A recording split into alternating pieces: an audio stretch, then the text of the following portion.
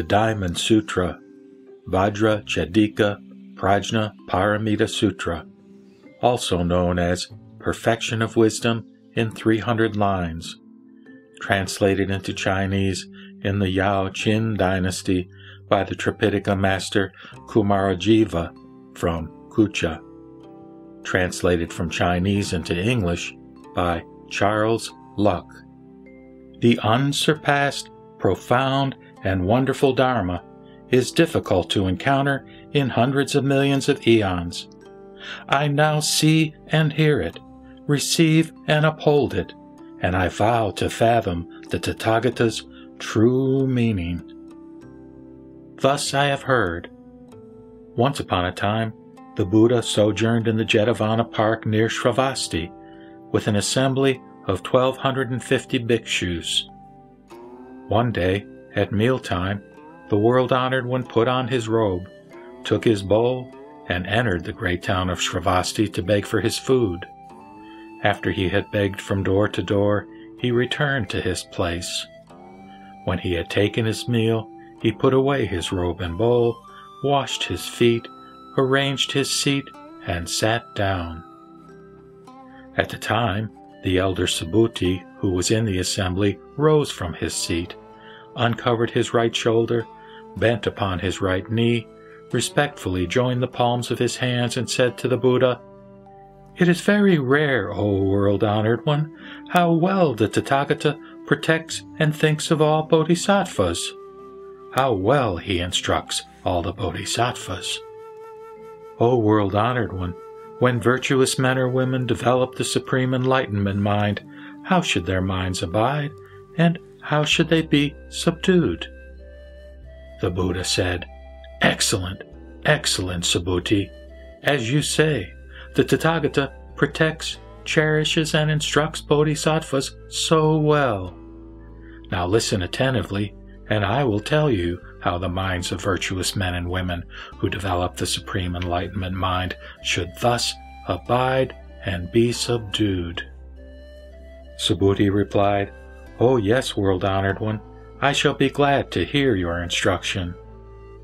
The Buddha said, Subhuti, all bodhisattvas and mahasattvas should subdue their minds as follows. All living beings born from eggs, wombs, humidity, or by transformation, with or without form, either thoughtful or thoughtless, and neither thoughtful nor thoughtless, are all led by me to the final nirvana for the extinction of reincarnation. Although immeasurable, uncountable, and unlimitable numbers of living beings are thus led to the final nirvana for the extinction of reincarnation, it is true that not a living being is led there. Why so, Subhuti?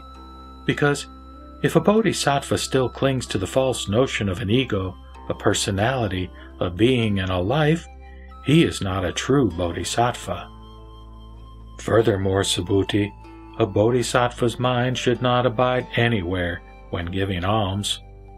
That is to say, he should give without a mind abiding in form, or he should give without a mind abiding in sound, or in smell, or in taste, or in touch, or in things. Subhuti. Thus, a bodhisattva should give alms without a mind abiding in false notions of forms. Why? Because if a bodhisattva's mind does not abide in forms when practicing charity or dana, his merit will be inconceivable and immeasurable. Subhuti, what do you think? Can you think of and measure the extent of space in the East? I cannot, world honored one.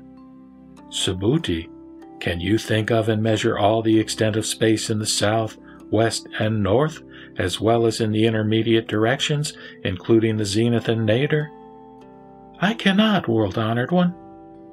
Subhuti, when a bodhisattva practices charity without a mind abiding in forms, his merit is equally inconceivable and immeasurable. Subhuti, a bodhisattva's mind should thus abide as taught. Subhuti, what do you think?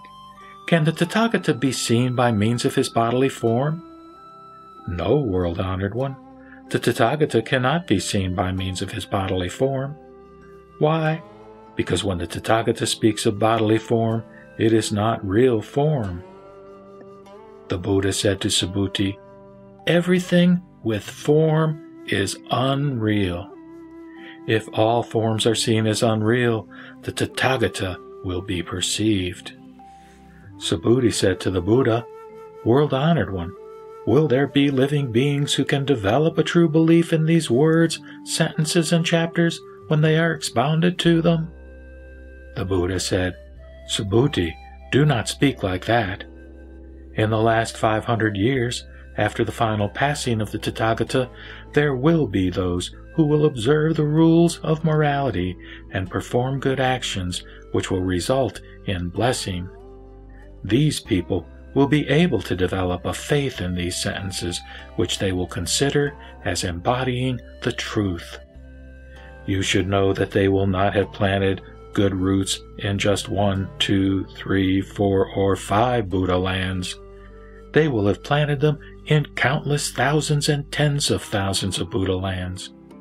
Upon hearing these sentences, there will arise in them a single thought of pure faith. Subhuti, the Tathagata knows and sees all. These living beings will thus acquire immeasurable merits. Why? Because they will have wiped out false notions of an ego, a personality, a being, and a life, of Dharma and not Dharma. Why? Because if their minds grasp form, they will still cling to the notion of an ego, a personality, a being, and a life. If their minds grasp the Dharma, they will still cling to the notion of an ego, a personality, a being, and a life. Why? Because if their minds grasp the not Dharma, they will still cling to the notion of an ego, a personality, a being, and a life. Therefore, one should not grasp and hold on to the notion of Dharma as well as that of not Dharma. This is why the Tathagata always said, Ye bhikshus should know that the Dharma I expound is likened to a raft. Even the Dharma should be cast aside. How much more so the not Dharma? Subhuti, what do you think? Has the Tathagata in fact obtained supreme enlightenment? Does the Tathagata in fact expound the Dharma? Subhuti replied, As I understand the meaning of the Buddha's teaching, there is no fixed Dharma called supreme enlightenment, and there is also no fixed Dharma the Tathagata can expound. Why? Because the Dharma the Tathagata expounds cannot be clung to and cannot be expressed in words. It is neither Dharma nor not Dharma. Why is this? All Bhadras and Aryas differ on account of the eternal Dharma. Subhuti, what do you think? If someone filled the universe with the seven treasures and gave them all as alms, would his merit be great? Subhuti replied, Very great, world honored one. Why? Because this merit is not the nature of merit, the Tathagata says it is great. Subhuti, if on the other hand, someone received and kept even a four line stanza of this sutra and expounded it to others, his merit would surpass that of the giver of treasures. Why? Because, Subhuti, all Buddhas and their supreme enlightenment Dharma originate from this sutra.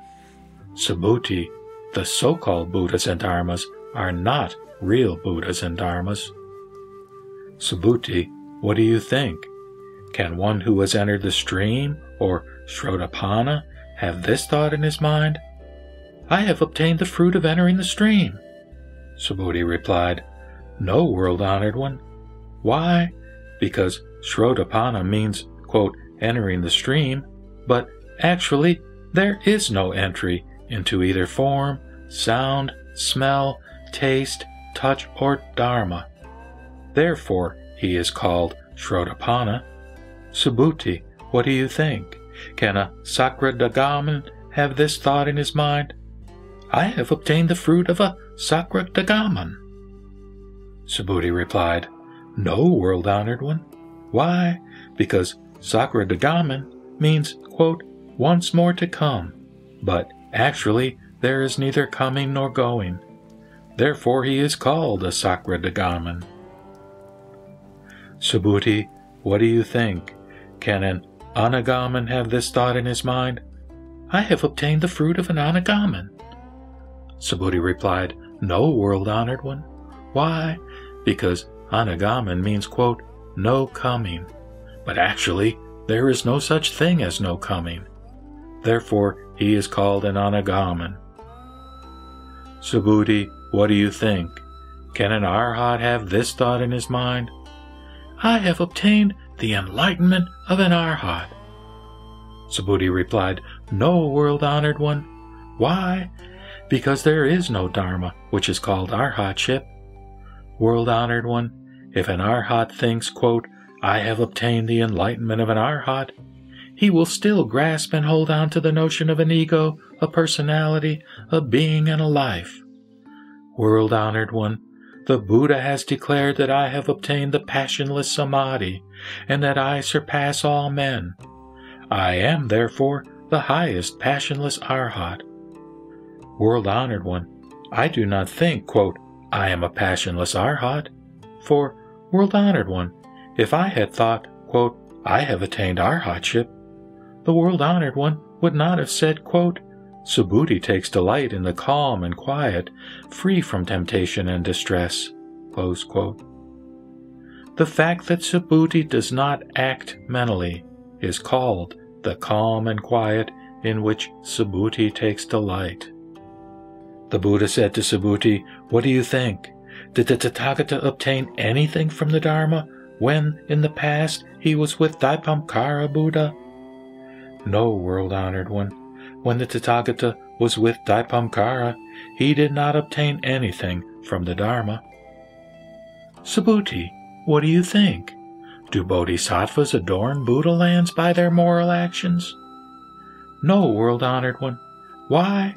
Because this is not real adornment, it is merely called the adornment of Buddha lands. Subhuti, this is why all bodhisattvas and mahasattvas should thus develop a pure and clean mind which should not abide in form, sound, smell, taste, touch, and dharma. They should develop a mind which does not abide in anything. Subhuti, supposing a man has a body as great as Mount Sumeru, what do you think? Would such a body be great? Subhuti replied, Very great, world honored one. Why? Because the Buddha says it is not the real body, but is merely called a great body. Subhuti, if there were as many rivers like the Ganges as there are grains of sand in the Ganges, would the total grains of sand in all these rivers be very great? Subhuti replied, Very great, world honored one. These rivers would be innumerable. How much more so would be their sand grains? Subhuti, I now tell you truly, if a virtuous man or woman filled a number of universes as great as the number of sand grains in all these rivers with the seven treasures and gave them all away in alms, would his or her merit be great? Subhuti replied, Very great, world honored one. The Buddha said to Subhuti, If a virtuous man or woman receives and holds in mind even a four line stanza of this sutra and expounds it to others, his or her merit will surpass that of the almsgiver. Furthermore, Subhuti, wheresoever this sutra or even one of its four line stanzas is expounded, you should know that all devas, men, and asuras should make their offerings there, as if the place was a Buddha stupa or a Buddha temple. How much more so if someone is able to receive, hold in mind, read, and recite the whole sutra? Subhuti, you should know that such a person will achieve the highest and rarest Dharma. Wheresoever this sutra may be found, the Buddha and his respected disciples will also be there. Subhuti then asked the Buddha, World honored one, what name should be given to this sutra, and how should we receive and hold it in mind? The Buddha said, This sutra should be called the Diamond Prajna Paramita, under which name you should receive and hold it. Why? Because, Subhuti, the Prajna Paramita, as expounded by the Buddha, is not Prajna Paramita, but is merely so called. Subhuti, what do you think? Does the Tathagata expound the Dharma? Subhuti said, World honored one, the Tathagata does not expound anything. Subhuti, what do you think? Are there many particles of dust in the universe? Subhuti replied, Many, world honored one. Subhuti, the Tathagata says these particles of dust are not real, but are merely called particles of dust. The Tathagata says the universe is not real, but it is merely called the universe. Subhuti, what do you think? Can the Tathagata be perceived by means of his 32 physical marks? No world honored one, the Tathagata cannot be perceived by them. Why? Because the Tathagata says they are not real, but are merely called the 32 physical characteristics. Subhuti, if on the one hand, a virtuous man or woman in giving alms sacrifices as many lives as there are sand grains in the Ganges, and on the other hand, someone receives and holds in mind even a four line stanza of this sutra and expounds it to others, the merit resulting from the latter will be greater. At that time, after listening to this sutra, Subhuti had understood its profound meaning and was moved to tears. He said to the Buddha, How rare, O world honored one! The Buddha has expounded such a very profound sutra. Since I have acquired the wisdom eye, I have not heard of such a sutra. World honored one, if someone after listening to this sutra believes that his mind is clean and pure, he will realize reality. We should know that such a person will achieve the highest and rarest merit. World honored one, this reality is not reality, but the Tathagata calls it reality. World honored one, as I now listen to this sutra, I have no difficulty in believing, understanding, receiving, and holding it. But in the last epoch, the last 500 year period, if there be a man who happens to listen to this sutra, believes, understands, receives, and holds it, he will be most rare. Why? Because he will no longer think in terms of an ego, a personality, a being, and a life. Why? Because the forms of an ego, a personality, a being, and a life are not forms. Why? Because when he has rejected all forms, he is called a Buddha. The Buddha said, Just so, Subhuti, just so. If on the one hand there be a man who listens to this sutra and is not filled with alarm, fear, or dread, you should know that such a person is most rare. Why? Because, Subhuti, as the Tathagata says, the first perfection, or paramita, is not so, but is merely called the first perfection, or paramita. Subhuti, the Tathagata speaks of the perfection of patience, or Kshanti paramita, which is not, but is called the perfection of patience. Why? Because, Subhuti, in a past life when my body was mutilated by Kali Raja, I had at that time no notion of an ego, a personality, a being, and a life. Why? Because in the past, when my body was dismembered, if I still held the conception of an ego, a personality, a being, and a life, I would have been stirred by feelings of anger and hatred. Subhuti, I also remember that in the past, during my former 500 lives, I was a Kshantistri and held no conception of an ego, a personality, a being, and a life.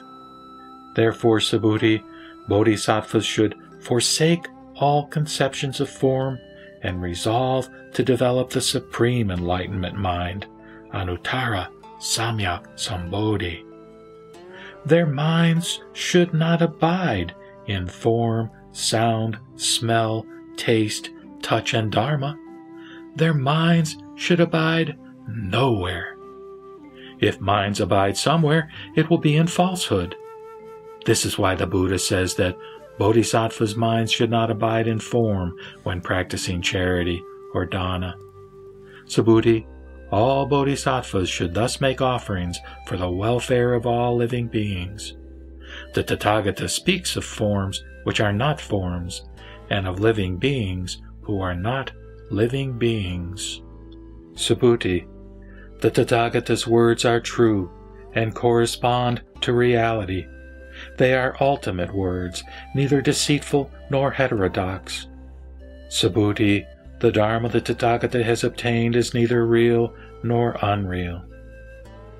Subhuti, if a bodhisattva practices charity or dana with a mind abiding in things, or dharma, he is like a man entering the darkness where he cannot see anything. But if a bodhisattva practices dana with a mind not abiding in dharma, he is like a man with open eyes who can see everything in the sunshine. Subhuti, in future ages, if a virtuous man or woman is able to receive, hold in mind, read, and recite this sutra, the Tathagata, by means of his Buddha wisdom, will know and see clearly that such a person will achieve immeasurable and unlimitable merits.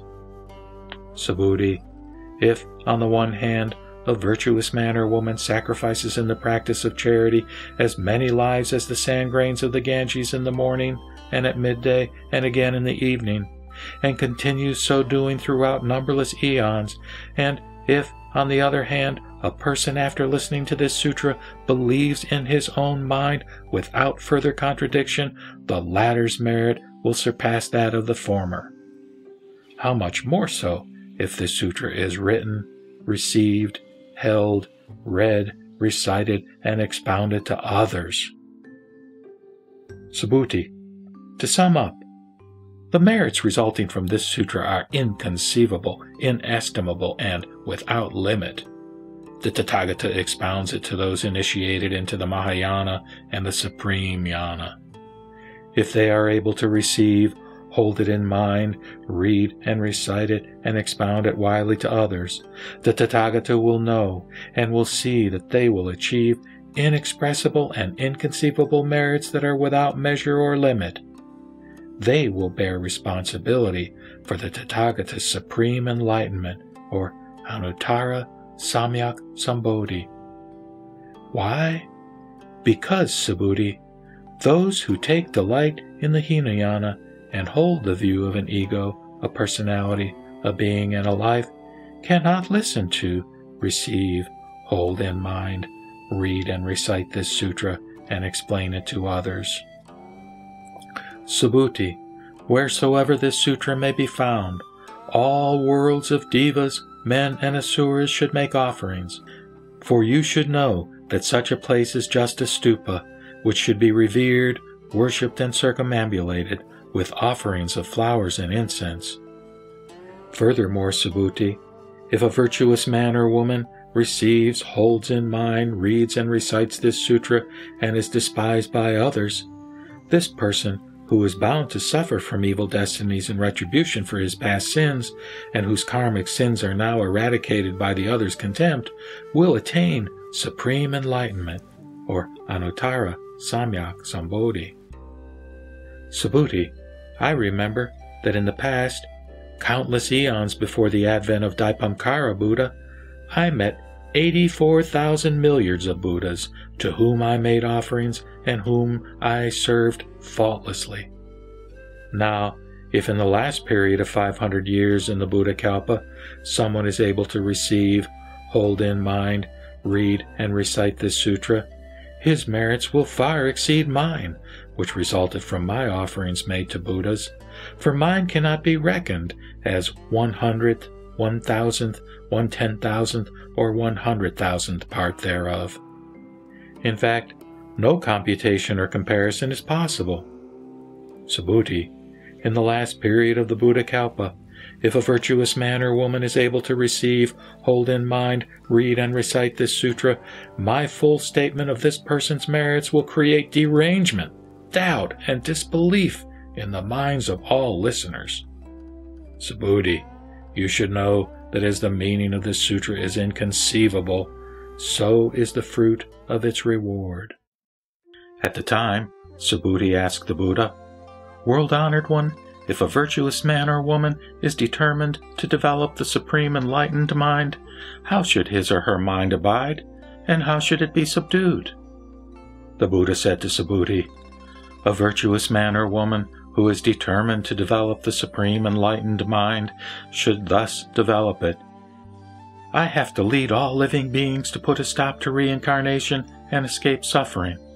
And when they have been so led, not one of them, in fact, stops reincarnating or escapes suffering. Why? Because, Subhuti, if a bodhisattva clings to the notion of an ego, a personality, a being, and a life, he is not a true bodhisattva. Why? Because, Subhuti, there is not really a Dharma which can develop the supreme enlightenment mind. Subhuti, what do you think? When the Tathagata was with Dipamkara Buddha, did he have any Dharma by means of which he attained supreme enlightenment or Anuttara Samyak Sambodhi? No, world honored one. As I understand the meaning of the Buddha's teaching, when he was with Dipamkara Buddha, he had no Dharma by means of which he attained supreme enlightenment. The Buddha said, Just so, Subhuti, just so. There was really no Dharma by means of which the Tathagata attained supreme enlightenment. Subhuti, if there had been, Dipamkara Buddha would not have predicted, In your next life you will become a Buddha named Sakyamuni. Why is it? Because, quote, Tathagata means the suchness of all dharmas. If someone still says, quote, the Tathagata obtained supreme enlightenment, I tell you, Subhuti, there is no Dharma by means of which the Buddha did so, because, Subhuti, that enlightenment was by itself neither real nor unreal. This is why the Tathagata says that all Dharmas are Buddha's Dharmas. Subhuti, these so called Dharmas are not, but are expediently called all Dharmas. Subhuti, Supposing there is a man whose body is great. Subhuti said, World honored one, the great body of which the Tathagata speaks is not great, but is expediently called a great body. Subhuti, in like manner, if a bodhisattva says, I should lead uncountable living beings to put a stop to reincarnation and escape from suffering, he cannot be called a bodhisattva. Why? there is really no Dharma called Bodhisattva stage. Therefore, the Buddha says, of all Dharmas, there is not a single one which possesses an ego, a personality, a being, and a life. Subhuti, if a Bodhisattva says, I should adorn Buddha lands, he cannot be called a Bodhisattva. Why? Because when the Tathagata speaks of such adornment, it is not, but is expediently called adornment. Subhuti, if a bodhisattva is thoroughly versed in the doctrine of the unreality of ego and of things or dharma, the Tathagata will call him a true bodhisattva. Subhuti, what do you think? Does the Tathagata possess human eyes? Yes, world honored one, the Tathagata possesses human eyes. Subhuti, what do you think? Does the Tathagata possess deva eyes? Yes, world honored one, the Tathagata possesses Deva eyes. Subhuti, what do you think? Does the Tathagata possess wisdom eyes? Yes, world honored one, the Tathagata possesses wisdom eyes. Subhuti, what do you think? Does the Tathagata possess Dharma eyes? Yes, world honored one, the Tathagata possesses Dharma eyes. Subhuti, what do you think? Does the Tathagata possess Buddha eyes? Yes, world honored one, the Tathagata possesses Buddha eyes. Subhuti, what do you think? Does the Tathagata say that the sand grains in the Ganges are sand grains? Yes, world honored one, the Tathagata says they are sand grains. Subhuti, what do you think?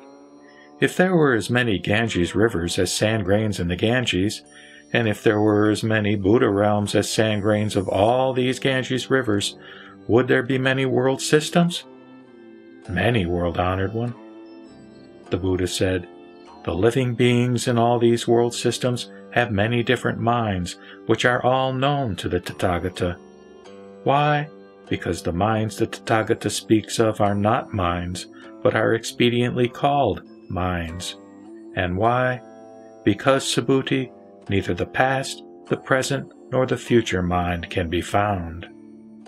Subhuti, what do you think?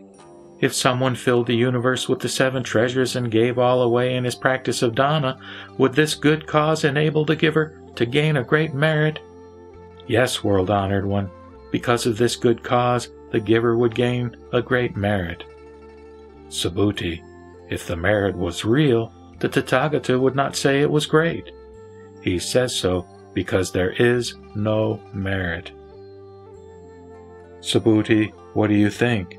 Can the Buddha be perceived by his completely perfect physical body, or Rupakaya? No, world honored one, the Tathagata should not be so perceived. Why? Because the Buddha says the completely perfect Rupakaya is not, but is called the completely perfect Rupakaya. Subhuti, what do you think? Can the Tathagata be perceived by his completely perfect forms? No, world honored one. The Tathagata should not be so perceived, because the Tathagata says the completely perfect forms are not, but are called completely perfect forms. Subhuti, do not say that the Tathagata thinks, I must expound the Dharma. Do not have such a thought. Why? Because if someone says so, he will really slander the Buddha and be unable to understand my teaching. Subhuti, when the Tathagata expounds the Dharma, there is really no Dharma to teach, but this is expediently called teaching the Dharma. Then the wise Subhuti said to the Buddha, World honored one, will there be in future ages living beings who will believe this Dharma when they hear it? The Buddha said, Subhuti, the living beings you just mentioned are neither living nor not living beings. Why? Because, Subhuti, the Tathagata says these living beings are not really, but they are expediently called living beings. Subhuti said to the Buddha, World honored one, does your own attainment of supreme enlightenment or Anuttara Samyak Sambodhi mean that you have not gained anything whatsoever? The Buddha replied, Just so, Subhuti, just so. I have not gained even the least Dharma from supreme enlightenment, and this is called supreme enlightenment. Furthermore, Subhuti, the Dharma is universal and impartial. Wherefore, it is called supreme enlightenment the practice of all good virtues or dharmas, free from attachment to an ego, a personality, a being, and a life, will result in the attainment of supreme enlightenment. Subhuti, the so called good virtues, or dharmas, the Tathagata says, are not good, but are expediently called good virtues. Subhuti, if on the one hand a man in his practice of charity or dana gives away the seven treasures piled up in a heap as great as all the mounts Sumeru in the universe put together, and, on the other hand, another man receives, holds in mind, reads, and recites even a four line stanza of this Prajnaparamita Sutra and expounds it to others.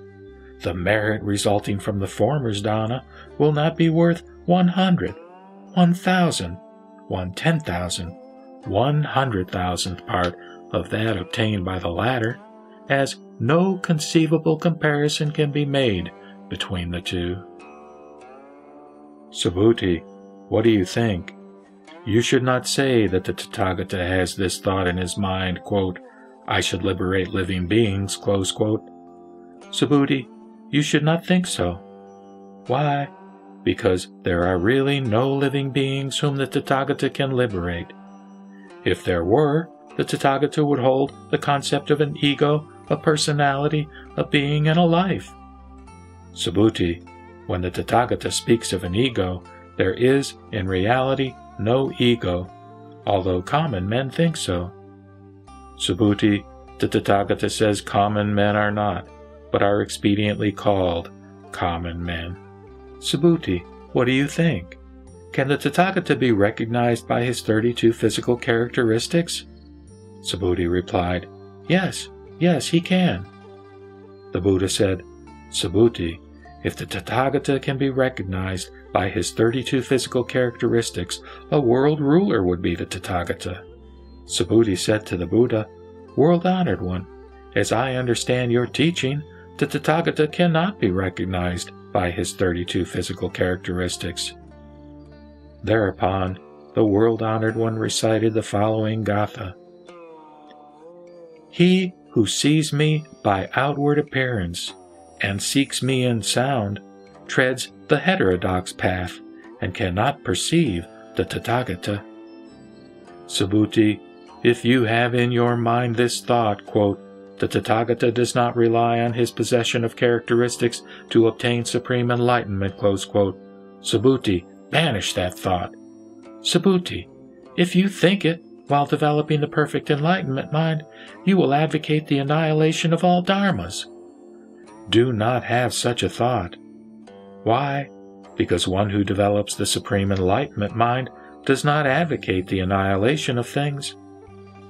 Subhuti, if, on the one hand, a bodhisattva gave in his practice of dana all the seven treasures in quantities sufficient to fill worlds as many as sand grains in the Ganges, and, on the other hand, another man comprehended that all dharmas were egoless and thereby achieved perfection of patience or kshanti, the latter's merit would surpass that of the former. Why? Because, Subhuti, all bodhisattvas do not receive reward for their merits. Subhuti asked the Buddha, World honored one, why do bodhisattvas not receive reward for their merits? Subhuti, bodhisattvas should have no longing and no attachment when they practice meritorious virtues. Therefore, they do not receive a reward. Subhuti, if someone says that the Tathagata comes or goes, sits or lies, he does not understand what I mean. Why? Because the Tathagata has neither whence to come nor whither to go. Therefore he is called the Tathagata. Subhuti, what do you think? If a virtuous man or woman reduced to dust all the worlds in the universe, would those particles of dust be many? Subhuti replied, Many, world honored one. Why? Because if they really existed, the Buddha would not say they were particles of dust. And why? Because when the Buddha speaks of particles of dust, they are not, but are expediently called particles of dust. World honored one, when the Tathagata speaks of worlds, they are not, but are expediently called worlds. Why? Because if they really exist, they are just agglomerations. The Tathagata speaks of agglomerations which are not, but are expediently called agglomerations. Subhuti, that which is called an agglomeration cannot be spoken of, but the vulgar man has longing for and attachment to this thing. Subhuti, what do you think? If someone says, quote, the Buddha speaks of the view of an ego, a personality, a being, and a life, close quote. Subhuti, does that person understand what I mean? No, world honored one, that person does not understand. Why?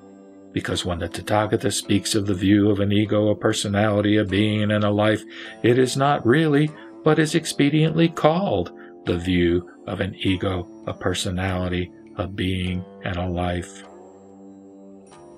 Subhuti, he who develops the supreme enlightenment mind should thus know, see, believe and comprehend all things. He should not set up the perception of things in his mind. Subhuti, the so called form of things, the Tathagata says is not, but is expediently called, the form of things.